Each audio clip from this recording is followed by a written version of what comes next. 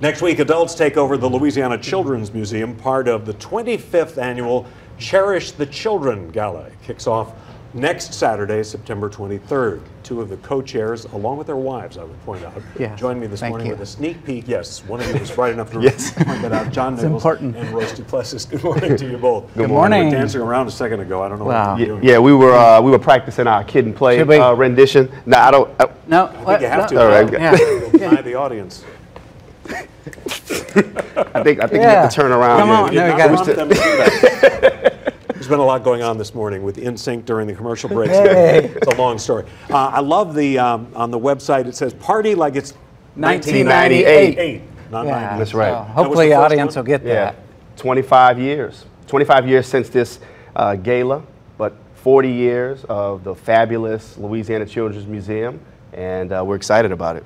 Well, and we were talking about that before we went on, is, is we're getting now to a point where adults who have these wonderful memories of the Yes. Children's Museum on Julia Street mm-hmm. are now taking their children to Right. the, the new facility. I mean, it's generational. It's truly a night where the adults are going to take over and be able to enjoy the museum. But, you know, I'm not growing up here. It's going to be fun to watch guys like Royce kind of reflect on the big exhibits that they enjoyed. So, like Mr. Bones, Oh yeah, Mississippi River, All of that. you got the bubble machine, the grocery store, Making groceries. making groceries. Yeah, we, um, my wife Crystal and I, who's uh, along with uh, Mary Nickens, are all co-chair in this.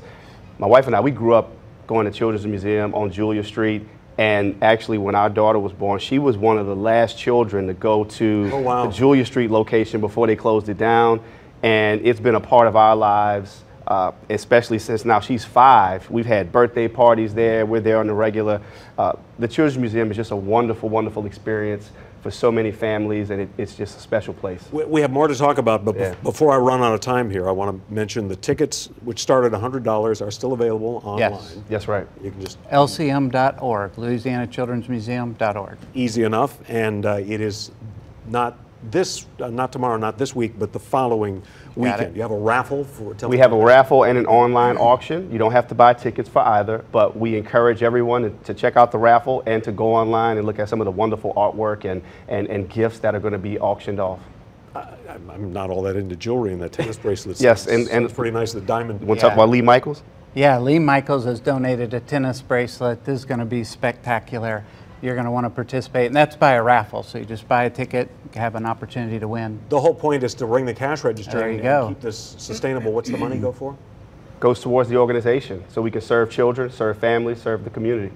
It, it sounds like a bunch of adults um, being kids, is what it sounds like. Yes, I Yeah. think so. Which I believe you gentlemen. You saw- demonstrated you already saw us. that We're- a few minutes ago. It's going to be a fun night. Yeah. There's no doubt All about right, it. Royce Duplessis, John Nickens, um, thanks so very much for Thank your you time for this having morning. us. Thank you, John. Yeah. All right.